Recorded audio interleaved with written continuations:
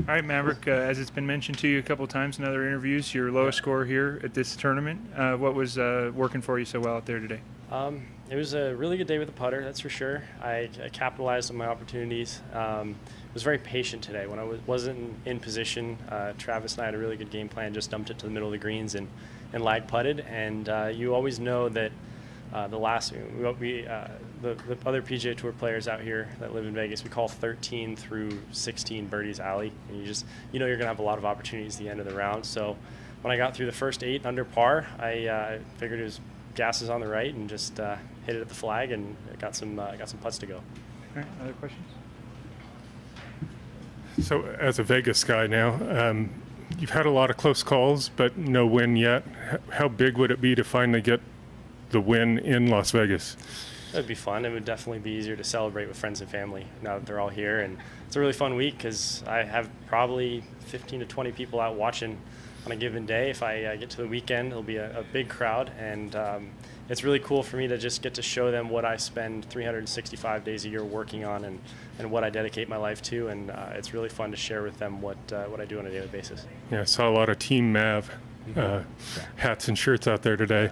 Um, can you talk about your relationship with Las Vegas? H- how long you've been here and why you chose to come here? Uh, so Sam Ryder on the first hole, he and I were talking about uh, the first time we played together five years ago. It was 2017. Uh, we played this tournament. We were paired together, and it, it felt like yesterday, but it also feels like forever ago. And uh, that was the week that I packed up everything I owned in my mom's old Ford Explorer and drove to Las Vegas and moved here. And I've been a, a proud resident for five years, um, a hockey fan, and just lu- lucky to get to play a golf course like this. TPC Summerlin, right next door, to TPC Las Vegas, uh, the Summit Club, Shadow Creek. There's there's a lot of great golf holes out here, and um, it's it's been awesome. Uh, My my three brothers now live with me. We're all living in the same house together, and uh, Joseph Bramlett lives with me. He's also on tour, and uh, my my parents are 15 minutes down the street, so it really put my roots down here. Wow.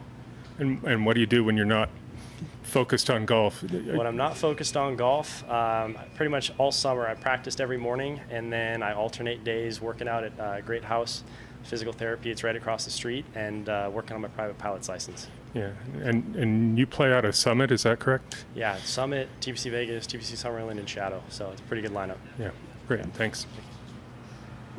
Heather, um, can you estimate how many times you've probably played this course? So, Oh. can you put a number on that?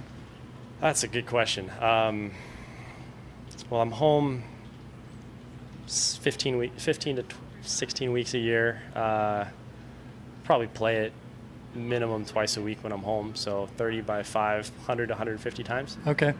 Um, I was talking to the tournament director, and they redid a lot of the fairways and stuff, and he said that it didn't reopen until this past Monday, and that you hit like the first ball. Yeah. Did you notice right away a difference in the course, Oh, it's, the conditions, it's very, and it's very different. Um, different type of grass in the fairway, different grass in the greens. I, I wanted to be the first guy out at least on one of the nines and take the first divot, so I was here at 6:30, uh, ready to tee off. But um, the, it's the best turf coverage I've seen on the fairways. It's a, a more drought-resistant grass, so it'll take less water. Um, it should be better year round, and the greens are a different strand of grass they actually have at the Summit Club. But again, it's uh, more heat resistant, more cold resistant, takes less water. Um, and what I've noticed is a lot of putts that used to break to the strip don't go as much anymore as kind of a general theme. I think over time the greens settle and everything kind of slopes down towards the strip downhill. We're a good four or five hundred feet higher than than all the casinos down there. So uh, I think when they redid the greens, some of that uh, tendency kind of went away, and I think.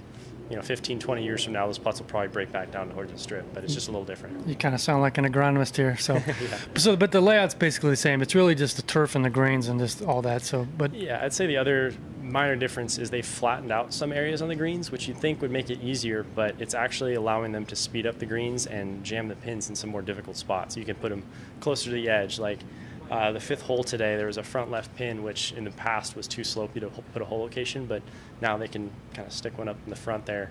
Uh, next to that, that hazard short, and um, I'm sure we'll see a couple more new ones. Like they have a, a mid-right shelf on 18 that I think they're going to use, and uh, it's definitely subtly different, but I think overall it's going to make the course a little more challenging.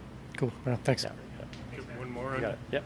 Since since it is playing a little different, does that take away the knowledge that you've gained, or that people that know the course and played the tournament a lot, does it take away a little bit of that knowledge? It, it definitely does. Um, I think there's still a familiarity with sight picture, and then there's some guys who this this golf course is just going to reward a lot of shots from 80 to 160 yards. That's just the the layout of the holes. So the guys that are good at that are still going to, you know, have their their sweet spot here, but definitely have to kind of unlearn a lot of the putts that you remember seeing. Um, Right. But that being said, I know how far the ball goes when it gets hot here. I've, I've played here in all temperatures and all conditions. I've seen pretty much every wind direction here, so there's still still an advantage there. Okay, great. Yeah, Thanks. got it. Cool. Thank you guys.